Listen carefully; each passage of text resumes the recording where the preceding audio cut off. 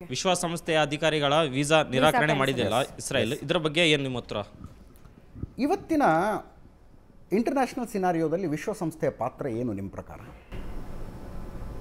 Name ಸಿಕ್ S that's it that's it that's the answer ಪ್ರಶ್ನೆ ನೀವು ಕೇಳಿದ್ರೆ ಉತ್ತರ ಅವ್ರು ಕೊಟ್ಟರು ದಟ್ ಇಸ್ ನೇಮ್ ಸರ್ ಈಗ ಹಮಾಸ್ ಅಂದರೆ ಹಮಾಸ್ ಅನ್ನೋ ಅರ್ಥ ಪದದ ಅರ್ಥ ಮನೋರಂಜನೆ ಅಂತ.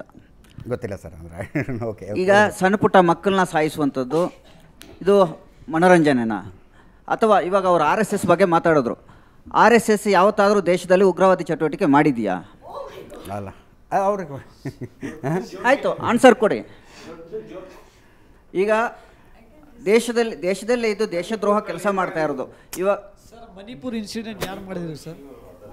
ಅಲ್ಲ ಅಲ್ಲ ಒಂದು ಒಂದು ನಿಮಿಷ ಒಂದು ನಿಮಿಷ. ಮಣಿ ಮಣಿಪುರ ಆರ್ ಎಸ್ ಎಸ್ನ ಇನ್ಸಿಡೆಂಟ್ ಅಲ್ಲ ಅಂದರೆ ನಾನು ಸ- ಈ ಸಬ್ಜೆಕ್ಟಿಂದ ಡೈವರ್ಟ್ ಆಗೋದಕ್ಕೆ ಮನಸ್ಸಿಲ್ಲ ಬಟ್ ಮಣಿಪುರ ಇನ್ಸಿಡೆಂಟ್ಗೆ ಆರ್ ಎಸ್ ಎಸ್ ಹಂತದಲ್ಲಿ ಕಾರಣ ಅಂತ debate ನಾನು can I just give answer to him yes so starting from I ನಾನು ಹೇಳ್ತೇನೆ ಟೂ ತೌಸಂಡ್ ಟೂ ಅಲ್ಲಿ ಗುಜರಾತಲ್ಲಿ ಆಗಿರುವಂಥ ಹತ್ಯಾಕಾಂಡ ಯಾವುದು? ಅದನ್ನು ನೀವು ಎಂತ ಮಾನವೀಯತೆಯಲ್ಲಿ ಮಾನವೀಯತೆಯಲ್ಲಿ ಮಾಡಿರುವಂತಹ ಹತ್ಯೆ ಅದಕ್ಕಿಂತ ಮುಂಚೆ ಆದಂತಹ ಹತ್ಯಾಕಾಂಡ ಬಗ್ಗೆ ನೀವು- ಆನ್ಸರ್.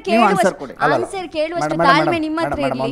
ನೋ ನೋ ನೋ ಅವ್ರು ಹೇಳಿರುವಂತಹದ್ದು. ಆರ್ ಎಸ್ ಎಸ್ ಸಂಘಟನೆ ಇನ್ನೊಂದು ಇನ್ನೊಂದು ಡಿಬೇಟ್ ಮಾಡೋಣ.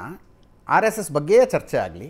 ಇವತ್ತಿನ ಚರ್ಚೆ ಪ್ಯಾಲೆಸ್ಟೈನ್ ಇಸ್ರೇಲ್ ಅಲ್ವಾ. ಆರ್ ಎಸ್ ಎಸ್ ಬಗ್ಗೆನೇ ಚರ್ಚೆ ನಾವು- ಮಾಡೋಣ ಮೈಕ್ ಶಿಫ್ಟ್ ಮಾಡಿ ಆರ್ ಎಸ್ ಎಸ್ ಬಗ್ಗೆಯೇ ಚರ್ಚೆ ಮಾಡೋದಕ್ಕೆ ಇನ್ನೊಂದು ಡಿಬೇಟ್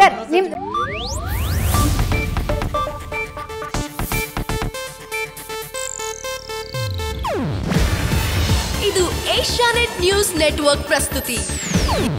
ನೀವು ನೋಡ್ತಿದ್ದೀರಾ ಏಷ್ಯಾ ನೆಟ್ ಸುವರ್ಣ ನ್ಯೂಸ್.